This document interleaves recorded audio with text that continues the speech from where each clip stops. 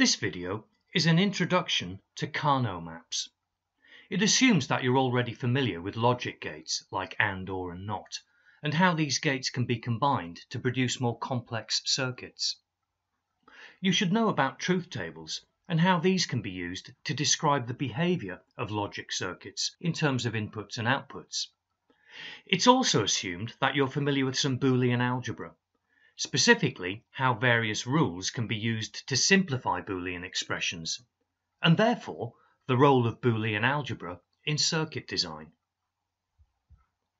So what is a Karnaugh map, or a K-map as they're sometimes known?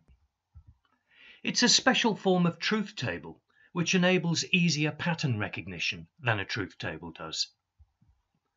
It's a pictorial method of simplifying Boolean expressions Good for circuit designs with up to four variables, that's four inputs. So let's look at an example.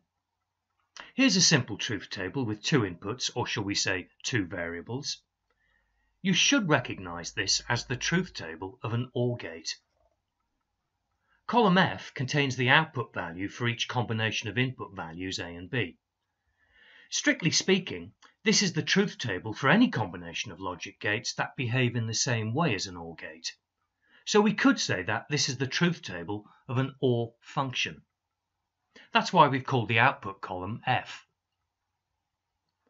To construct the corresponding K-map, we draw a grid with one square for each row in the truth table. The possible input values for A are used as column headings across the top, and those for B as row labels down the left-hand side. These input values will act like coordinates for the output values. Now we can populate the K-map. We can see from the truth table that when A is 0 and B is 0, the output is 0. When A is 0 and B is 1, the output is 1.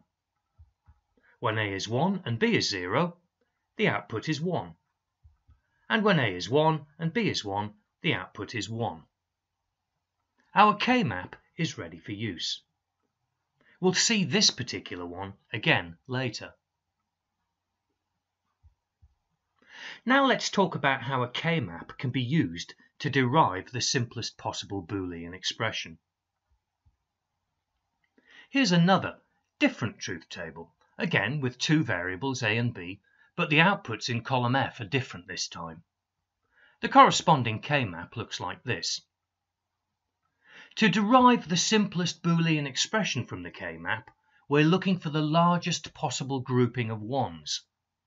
An expression can then be derived by inspecting this group. Here we can see that whenever there is a 1 in the group, the value of input A is 1. We can also see that the topmost one in the group corresponds to a value of 0 for input B, but the other one in the group corresponds to a value of 1 for input B. This means that the output is independent of the input value B, which makes B a redundant input. This grouping can therefore be expressed simply as A. The output of this function is A.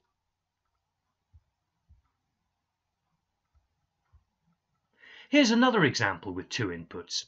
We've seen this one before. It's the truth table for an OR gate. But let's see how we can derive the Boolean expression by inspecting the K-map. Here's the corresponding K-map. A single group cannot be L-shaped. So what we have here are two overlapping groups of ones. The ones in the vertical group always match the input value A. The vertical grouping can therefore be expressed simply as A. The ones in the horizontal group always match the input value B. So the horizontal grouping can be expressed as B. Hence, this K-map represents the expression A or B. It is indeed the OR function. In this truth table, the output is always 1, regardless of the inputs. Here's the K-map, which matches this truth table. We can create one large group of ones here. Clearly, the output is independent of all of the inputs. It is always 1. So the Boolean expression for this circuit is simply 1. Let's consider one more example with two variables. Here's the K-map which matches this truth table. We have two groups here. The ones in the vertical group are always the opposite of input A, so they are related to it. This group represents not A. The ones in the horizontal group are always the opposite of input B. So this group represents not B.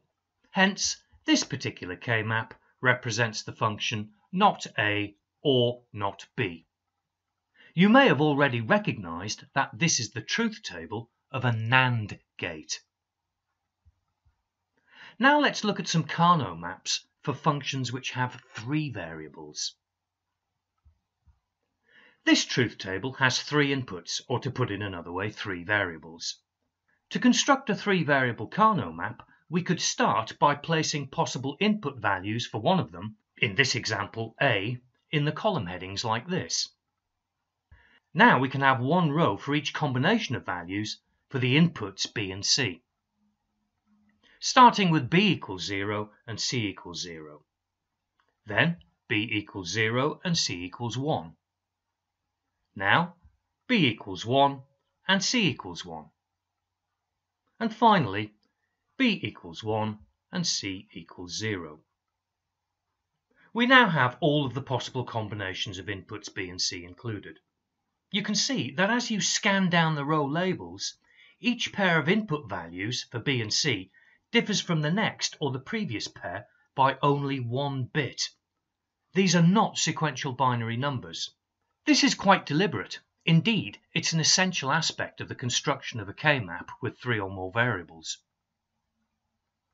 Okay, now we can transfer data from the truth table to the K-map by using the input values as coordinates for the placement of output values.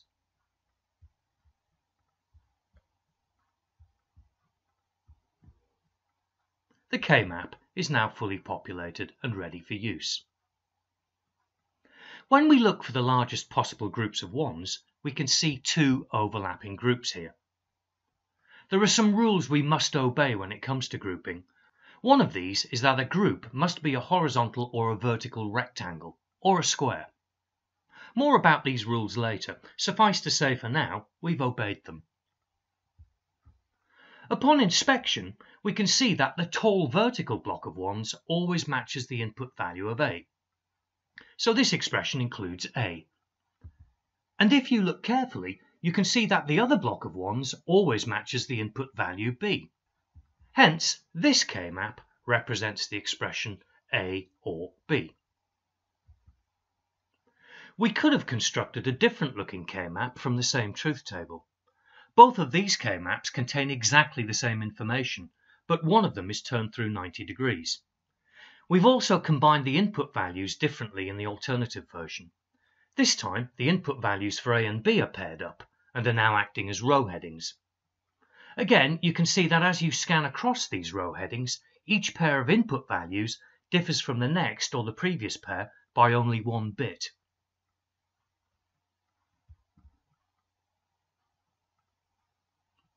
Looking for the largest possible group of ones, the uninitiated might decide that this is a candidate. But this breaks one of the rules. A group cannot contain six ones. It can only contain one, two, four, or eight ones, or to put it more generally, 2 to the power n ones.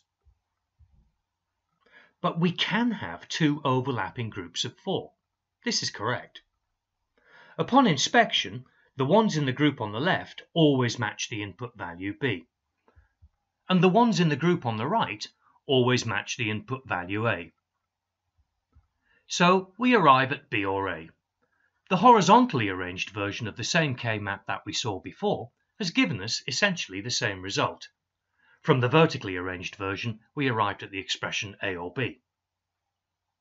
And in case you were wondering, if we had created two groups like this, we would still arrive at the same conclusion, that this K-map represents the expression B or A.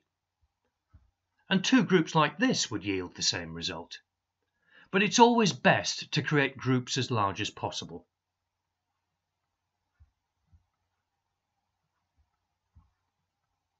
Here's a different example. Let's see what we can make of it. We have two groups of ones that obey the rules we've looked at so far. The ones in the long horizontal group are always the opposite of C. That is, they are not C. And the ones in the square block always match the value of input A. Hence, we have the expression not C or A. This example illustrates something we haven't seen yet. We have a small group of ones here. We can see that these ones correspond to an input value of 1 for A, and they also correspond to an input value of 1 for B. So this K-map represents the function A and B. Notice that when we're describing a single group of ones that's dependent on different input values, we use the AND operator to describe the relationship between the inputs. On the other hand, we've already seen that we use the OR operator to describe the relationship between different inputs in different groups of ones.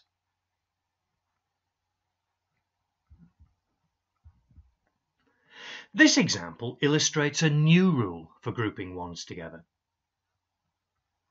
we have a single group of four ones that wraps around the table. Imagine the table has been rolled up into a tube so that the top and bottom rows are now adjacent to each other. This type of group is allowed. We can see that where there are ones, sometimes A is 0 and sometimes it's 1. So the output of the circuit that this K-map represents is independent of A. Also, where there are ones, sometimes B is 0 and sometimes it's 1. So the output of the circuit that this K-map represents is also independent of B. But where there are ones, the value of C is always 0, the opposite of the output. So this K-map represents the function not C. Here's another example. Here we have another group of ones that wrap around the table. Where there are ones, A is always 1. And where there are ones, the value of C is always 0, but the output is independent of B. Remember, because of the table wrapping rule, there is only one group of ones here, so this K-map represents A and not C. To finish then, here's a summary of the rules for identifying groups in a K-map.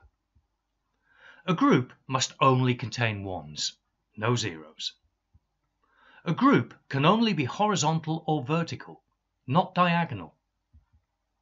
A group must contain 2 to the power n ones, for example 1, 2, 4, 8. Each group should be as large as possible.